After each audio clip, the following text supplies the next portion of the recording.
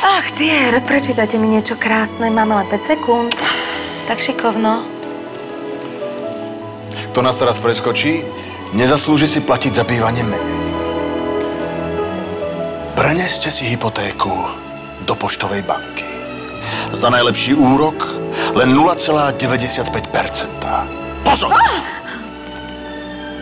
Akcia trvá len do konca októbra. Ale dosť, mlčte už. Nahovorili by ste ma na všetko, vy.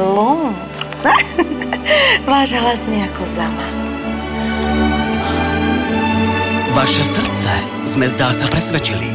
Teraz je na rade rozum. Kliknite sem a vypočítame vám, koľko môžete na splátkach svojej hypotéky ušetriť. Poštová banka.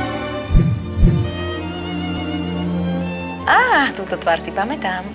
Či bývaš v kašteli alebo v Hladomorni, vždy môžeš platiť menej. Klikni ma. Prenes si hypotéku do poštovej banky a sekni s drahými splátkami.